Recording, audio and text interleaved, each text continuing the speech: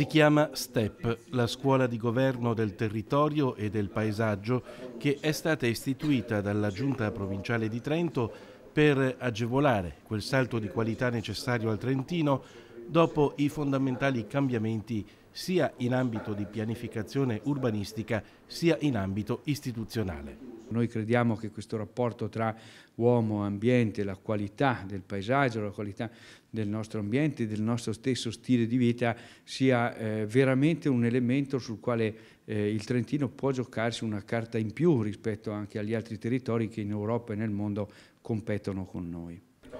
Il nuovo piano urbanistico provinciale e la riforma istituzionale consentono al Trentino di fare un salto culturale di grande importanza. Il governo provinciale, con la STEP, intende accompagnare questi cambiamenti con la necessaria formazione di liberi professionisti, amministratori e personale provinciale che operano negli ambiti delle PUP e della riforma istituzionale. Beh, non c'è dubbio che qualsiasi tipo di programmazione debba partire eh, da un elemento di conoscenza, eh, da un elemento anche poi di discussione, eh, di divulgazione della conoscenza e solo a questo punto una comunità può decidere anche quali azioni compiere, quali azioni mettere eh, in campo. Per cui sicuramente lavorare sulla eh, comunicazione, lavorare sull'informazione, lavorare sulla formazione diventa un elemento veramente importante perché si possa eh, programmare, avere una visione strategica, avere una strada da seguire, quindi sicuramente sì. Nelle scorse settimane il Centro Panorama di Sardegna ha ospitato due corsi di formazione rivolti in primo luogo ai professionisti impegnati a vari livelli nei processi di pianificazione, ma anche ai cittadini sensibili ai temi che riguardano il paesaggio come elemento centrale dell'identità.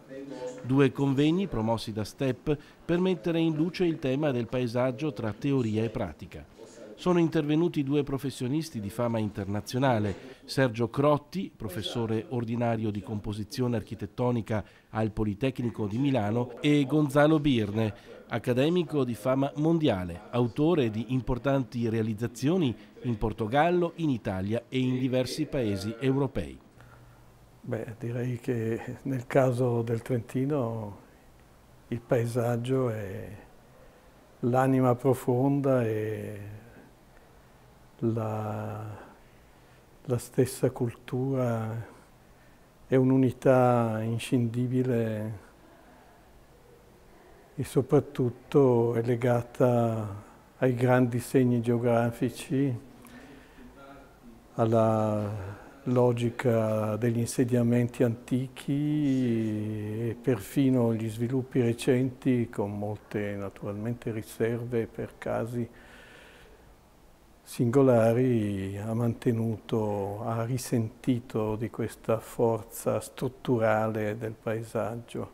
Questo è un tema che diventa veramente centrale nella discussione della qualità di vita, anche nella partecipazione della cittadinanza oggi, direi, no?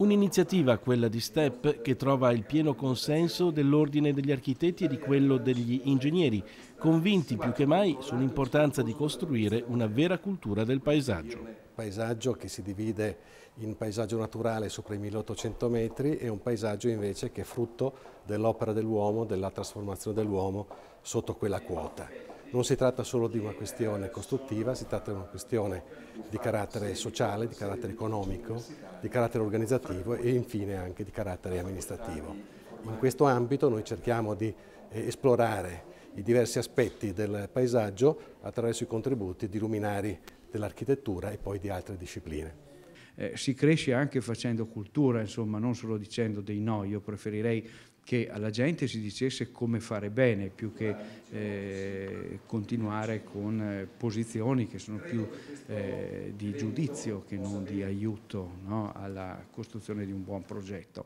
E quindi stiamo investendo anche su questo sperando che la cosa possa essere veramente d'aiuto.